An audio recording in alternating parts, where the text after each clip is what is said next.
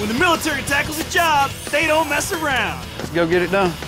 Their tools are big, powerful, So that's why you need the big dog. and way high tech. Collection DAU comes to the CADU. We're learning all about it and having some fun with the Florida National Guard. At Cecil Field, we're checking out all kinds of choppers. Now that's one bad mamma jamma right there, baby. We got tools to tighten the rotors, take out vibration, You feeling me? And carry almost 10 tons of water to dump on fires. Then a construction unit fixes a runway fast and bends metal to let you complete a shelter in just one day. Boom! You got a building. Plus, I go to Kuwait to check out a high-tech combat Humvee That's the magic stuff right there. Woo! and a shooting range that's much more than just a video game. From Florida to the deserts of the Middle East, these are the vehicles, equipment, and tools our troops use to get the job done.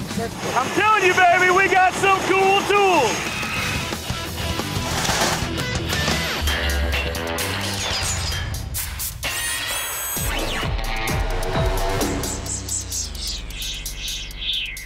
Hey, I'm Chris Grundy with a special edition of Cool Tools.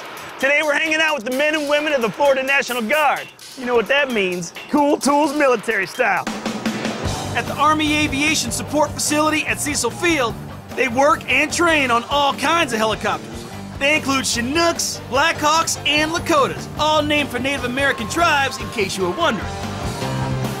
Over at Camp Blanding outside Jacksonville, Florida, an Air National Guard construction unit is showing us the ropes too. The 202nd Red Horse Squadron prepares for all kinds of problems in the field. For instance, What happens when you gotta land an airplane, but your runway's been bombed? You fix it and quick! In order for the airplanes to take off and land, they have to have us there to build the runways, repair them, take care of the infrastructure around the base. When you're in a battle, you're gonna take some hits. The runway repair team trains to take a bombed out runway and make it operational fast. This whole concrete area that you're here is a mock concrete runway. The hole you see here is a prefabricated hole, but it does simulate and it's close to a- an actual bomb crater. So a bomb's come in, made a hole 30 feet wide, 10 feet deep. Now it's time to bring in the big equipment. All right, fellas, what we're gonna do to get this filled up here as quickly as we can. A quick game plan, and it's game time. Keep guys on me. All right, let's go get it done. The first step in the process is pushing in the rubble that blew out of the hole. Every movement is coordinated and directed by the crater chief. When you got an emergency situation, you gotta work fast. These guys know what they're doing. Then more rock is loaded and brought in by the dump trucks. Right here we got a 10 yard dump truck, and this front loader's got a 2 yard bucket. We're gonna fill this up, get all the rock in there, take it to the crater, and fill it up. The excavator and track loader spread the filler evenly and compact it with their weight. The best piece of equipment we have on hand for this is this right here. And as you see, five minutes, you pretty much got it. It's just like preparing a foundation for any, any building. You gotta have good feet underneath. Once the hole is filled and compacted, it's time for the grader.